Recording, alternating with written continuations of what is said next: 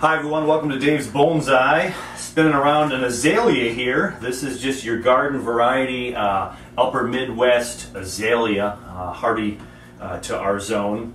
Uh, this one's called an Orchid Lights azalea.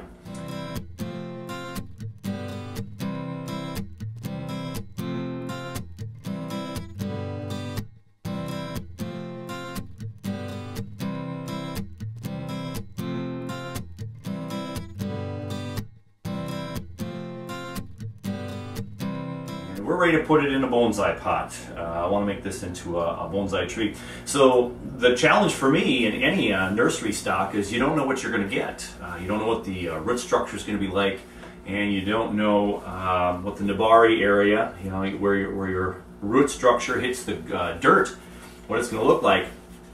And in this particular tree, I've got a couple of little tiny shoots coming off right here. We'll obviously, or most likely, I should say, cut those off.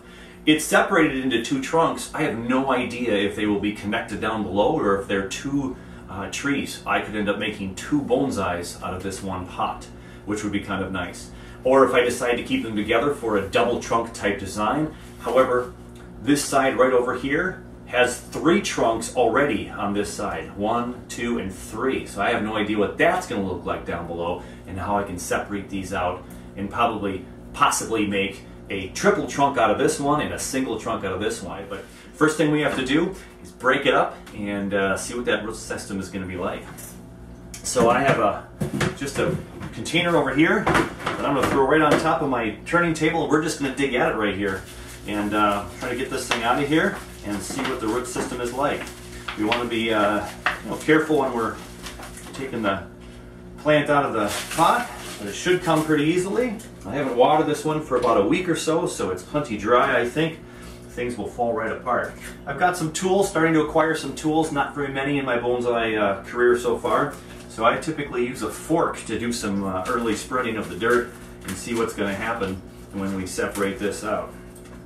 So what you're not able to see with the height of the blue uh, container here is, if you've not done these yet, you're going to lightly take the fork and you're going to be trying to break up the dirt around the uh, root system, trying to break as uh, few roots as possible, and just work it gently to see what's underneath.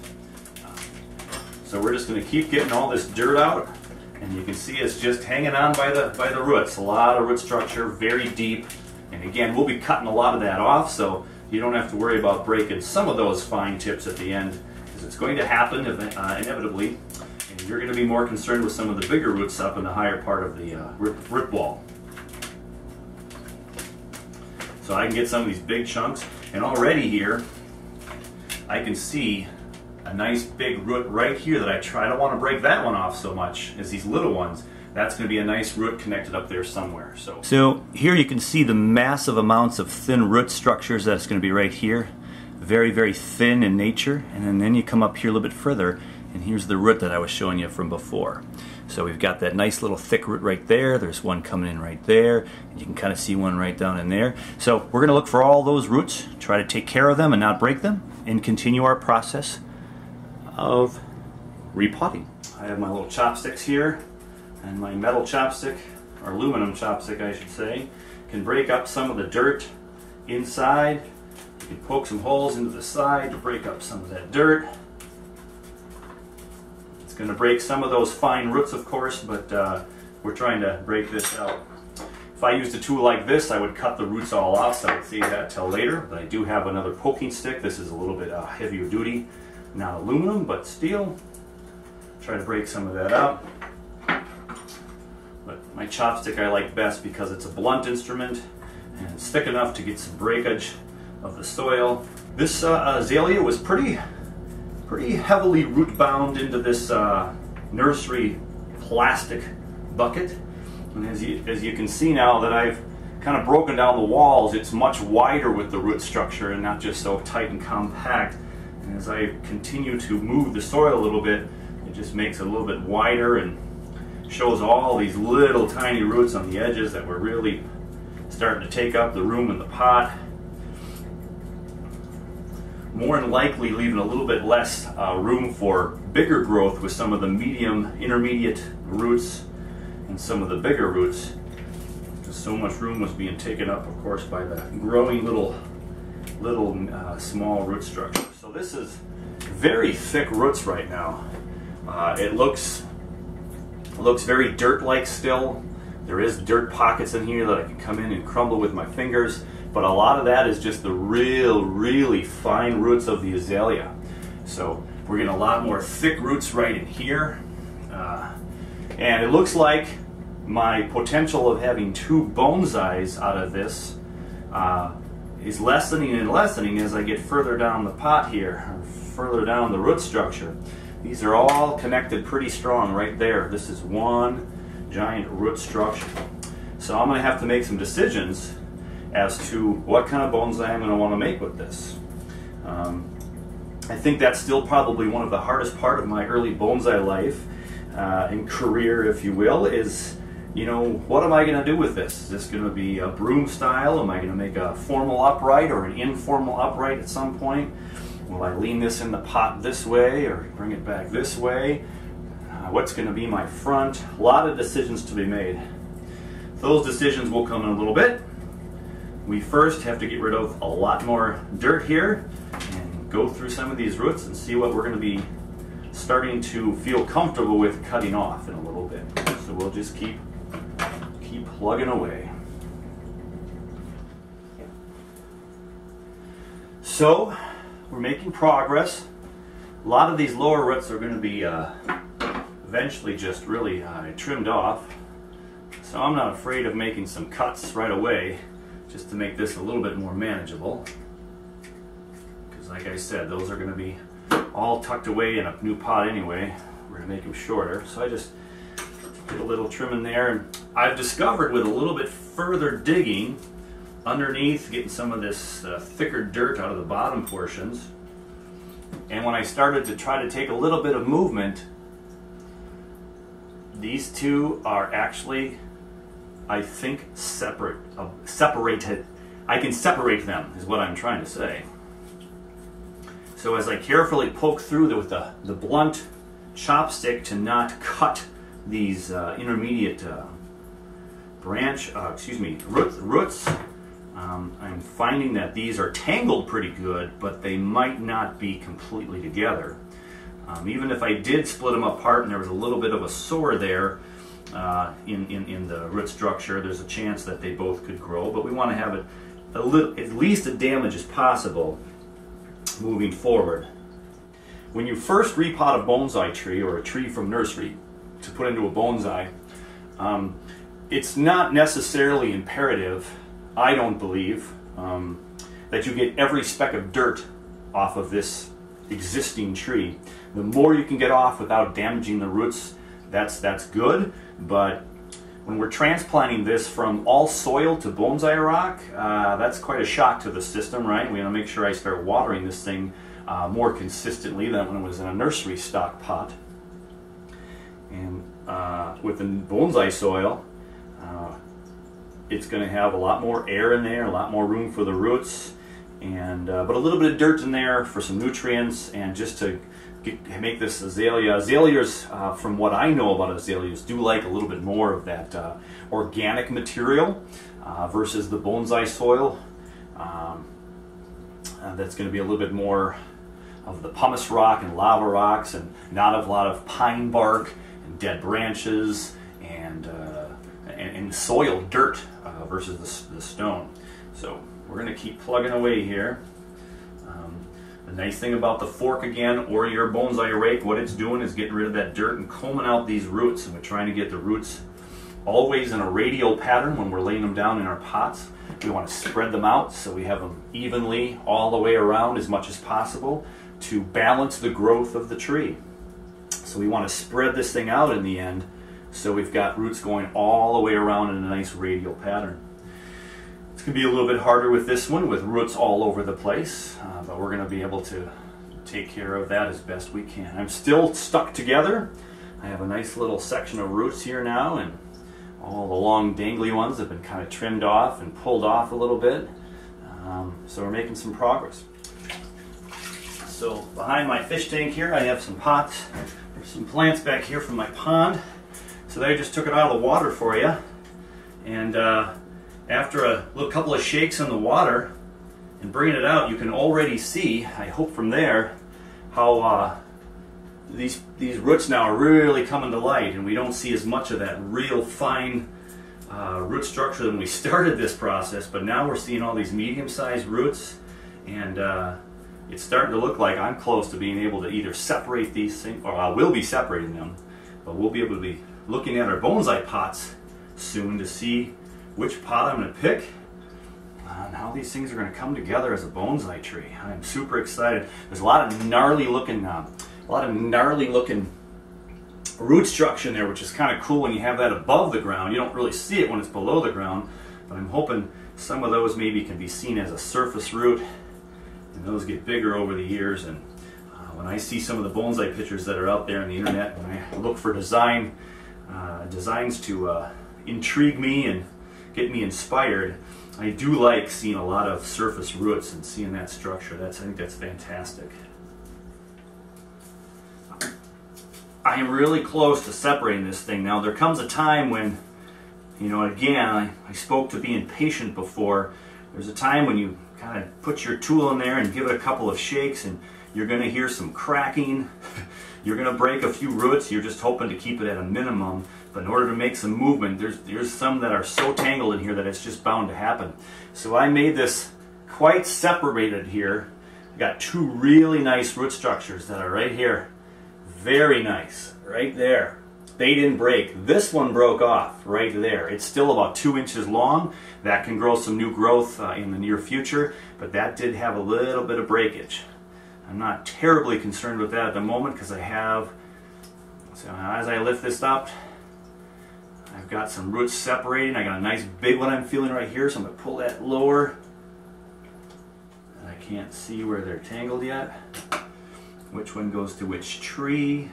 This one comes from that tree there. I was able to just totally lift that one right up with my fingers. Look at the next one. Here's a big one right here. I'm pulling it out slowly and I just pulled out all of that structure right there. That was all tangled up in there. Nice.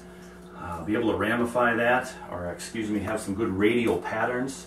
There's some ramification in the roots. There we go we have two trees. I'm to dunk them in the water. Be right back.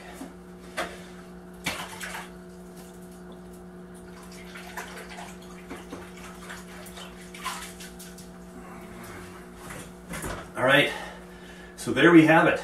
Oddly enough, the bigger trunk with the with the uh, bigger size uh, branches has the least amount of roots now left down there. I hope we have enough to uh, can sustain the growth, and I'm not going to cut these too much further back because I don't want to I don't want to damage this one, uh, stress this one out too much. And we'll get rid of that. And we're going to first take the fork now and kind of see where these go. So again, this one was super tangled up, so we have a lot of gnarly, uh, really cool roots, but they're going to be underground, so we're not going to see the cool uh, gnarliness of that.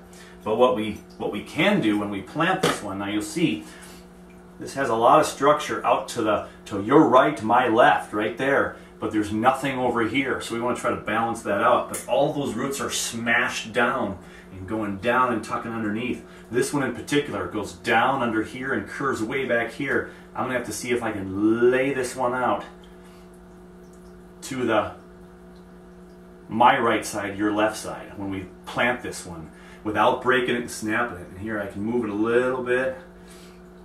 Got some big, uh, big uh, roots here that will will do some bending.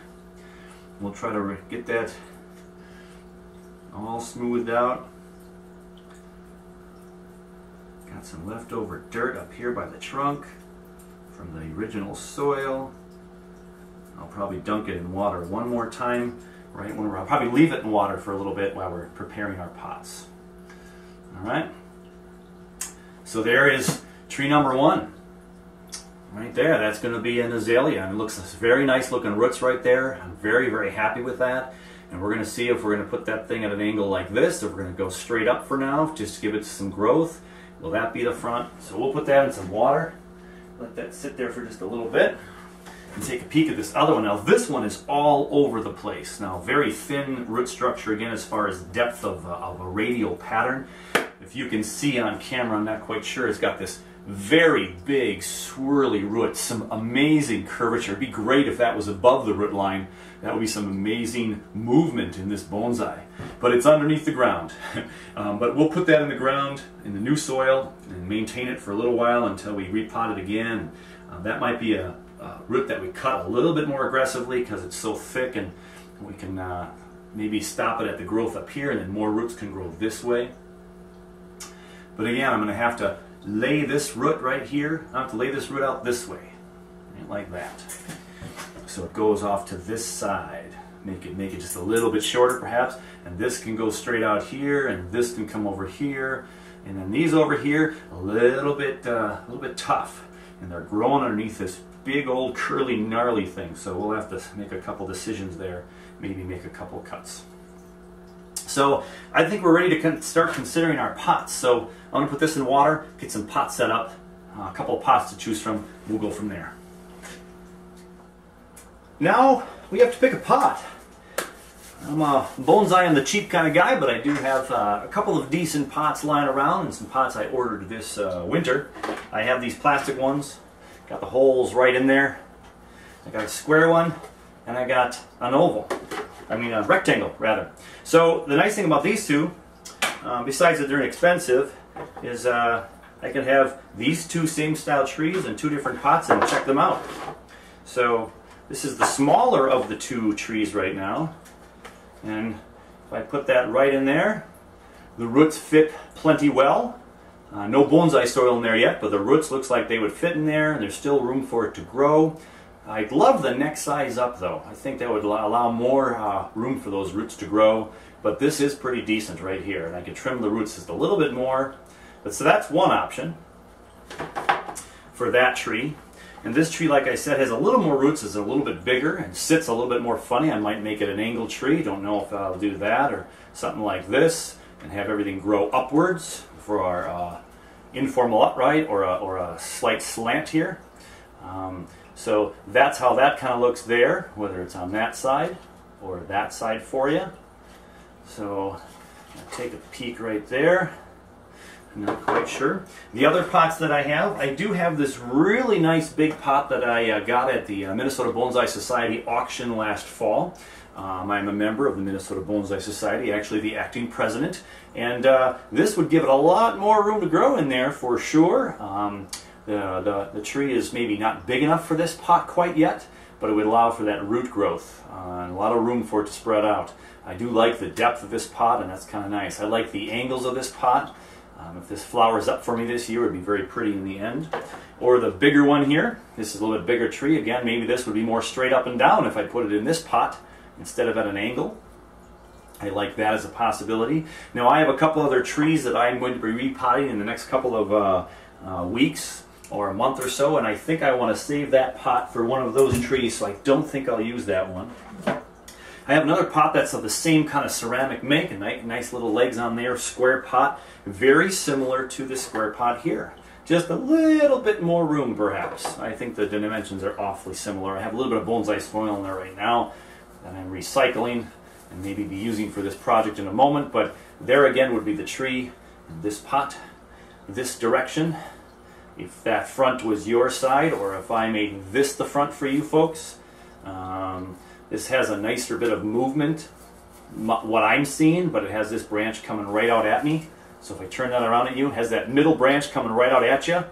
The lines are kind of cool that way. This way the lines are pretty cool too. Um, and that back, this back branch now won't be maybe in the way. So I can maybe put it in that one right there. So that's another one for me to decide. I also have um, thin pots that not going to work right now. Probably just a little bit too thin for these guys. Um, always could take a look real quick just to see. That'll be very nice in the future. I actually like that a lot. My nervousness with this is this is my first azalea, and I don't know that I want to put this azalea in such a shallow pot right now.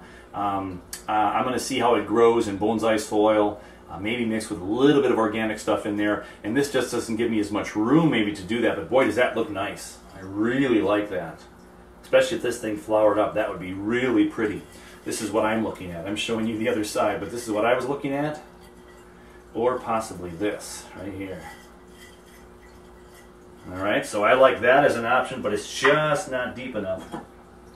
I also have a couple of these pots along 12 inches, uh, uh, 12 by 9 or so. And uh, so this would have plenty of room for the roots to grow on this one. Uh, could get a lot of soil in there.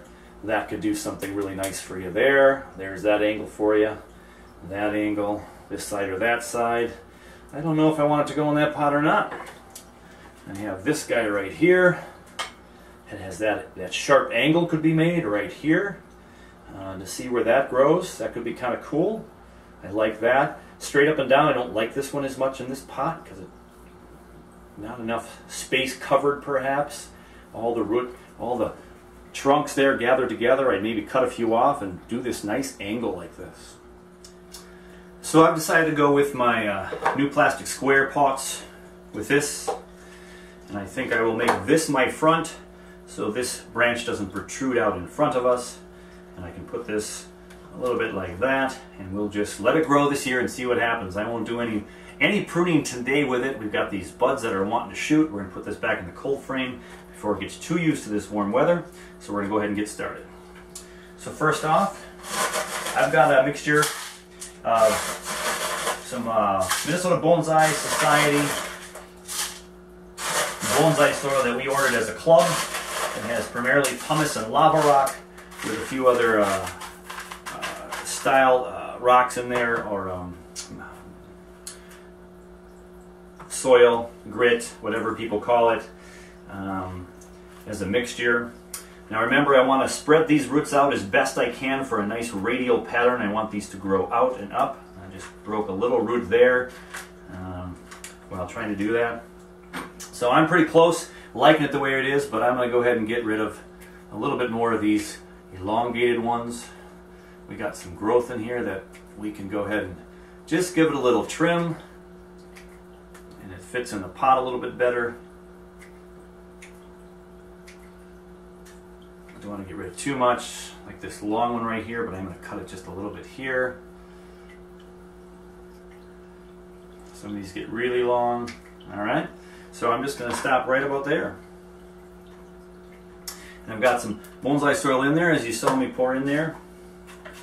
And I'm just going to go ahead and position this where I can see it. This won't be as easy for you to see. And I want to see where this is going to go. Try to flatten out some of these roots and pull them up and around so they have a chance to grow a little more radially. Alright, get it in the pot. This isn't a heavy enough tree where I'm going to worry about wiring it into place. I'm going to cut a root right there based on where it fits in the pot and uh, I feel pretty good about it. So I've got it laid in like that. I'm going to make sure I can see where I want it to be. I don't want my tree to be exactly perfectly straight, so I'm going to go off a little bit to the right. And spreading out the roots a little bit. Again, so they're radial. And then I'm going to go ahead and uh,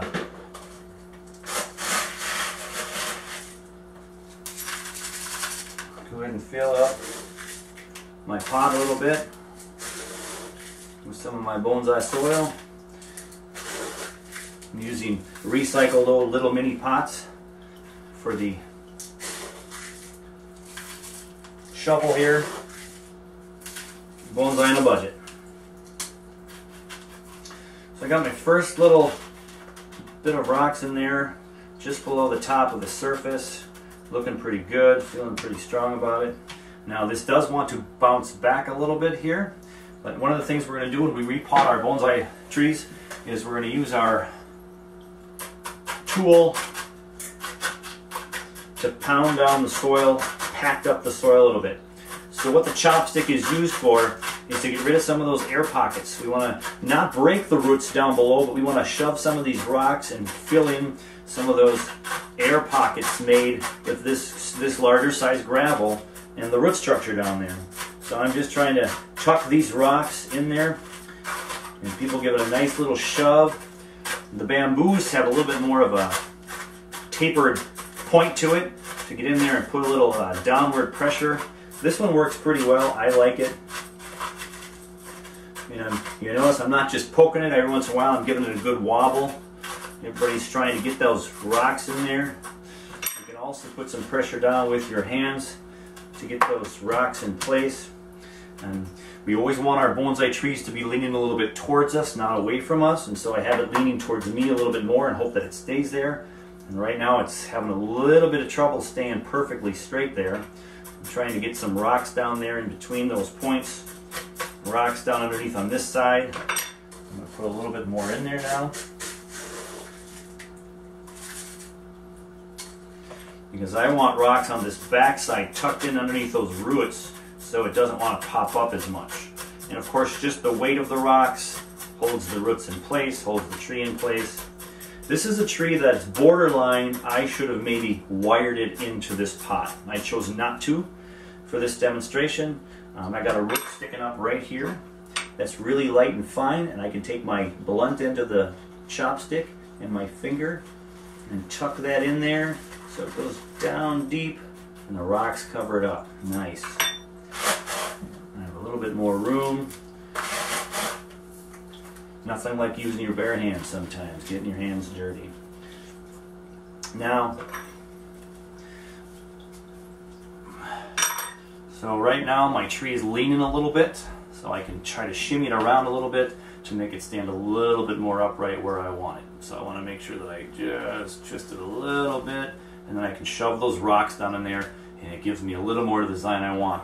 Now, I completely neglected this little guy right here. Now, that's not going to be anything that's useful for me, so I'm just going to go ahead and cut that right off. I should have done that earlier. So I'm going to go ahead and dig down a little bit, find its base, and now it is gone. That's not going to serve me any purpose that I want, and so I'm going to go ahead and continue to pound a little bit as I restructure where I want this to stand It's feeling really good and tight along the edges down here. A couple of loose spots down in by the roots. And again, it's going to want to bounce back up a little bit. So I'm going to have just a little bit more rocks. So I want to make sure those rocks are going to push that down in that area so the roots, or the tree, excuse me, won't come bouncing back up. Now, of course, I could take the whole tree out and try to reposition a little bit more, but it's just off center right now. As long as I can punch these rocks into the right spot and get this to stay, I'll be okay. With a couple of weeks of watering um, and settling and some root slow growth, it'll slowly take its shape. Now, so I have it right here as the front. It's a little twisted more than I want. This also looks decent as a front, but again, it has that branch in front coming out at you. But we'll see what it does. I just want to see if it maintains its growth, and we can always reposition in the pot at a later time. So there you go, azalea number one. We'll just uh, stop there and see what I want to do with azalea number two. Okay, I have decided to go with the rectangle pot for this uh, other part of my azalea. And right now, I've got some bonsai soil on the bottom. I've cut a few of the roots just to make it a little bit more manageable in here. There's a lot of roots in here that are still kind of, well not a lot, but there's some tangled around. Again, I'm trying to make that radial pattern spread out on all sides as equal as possible. Uh, can kind of see a little bit there with, with how they're spreading out a little bit. Harder to see with that color rock in there, I suppose. Got some, some fine, some small, some medium, and a couple of large roots. I'm spreading them out. And then I do think I want to angle this one. Um, I did I did do some cutting in the back here. There's a little cut right there. I cut a, the, the middle trunk right off. This is the second trunk and this was the fourth set of trunks and I made the cut too close but I have one growing branch left. I'll just see if they survive. I'm going to go a little bit at an angle on this one and let it grow out this way for a, a movement to my right, your left. I'm looking at it the, as the front right now. And I'm going to go ahead and get some soil in there. Now again, this is a tree at this angle. I might be in trouble without a wire to hold it in, but I'm not overly concerned.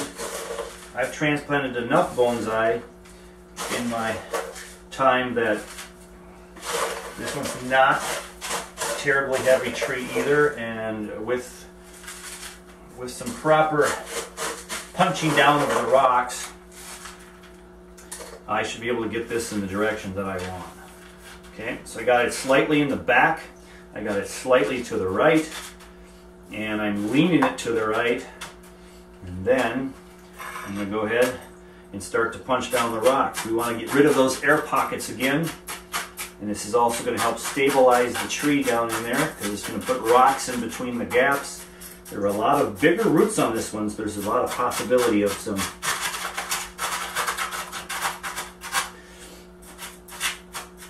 I got some roots that just popped up right here, which I can just kind of push back down. Depends upon my angle of this tree where these roots will finally find their way to the end. I'll put more rocks on top. Right now it's standing up pretty good right the way it is. So I have this leaning over where I want, looks pretty good. This branch could come over here eventually. This one can go straight up.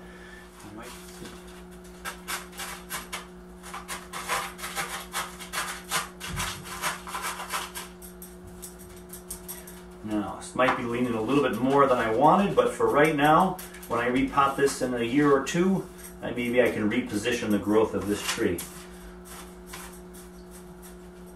You can tell when you're pushing down on the chopstick, I hit some points where it won't go any further. That's where the root structure is thickest.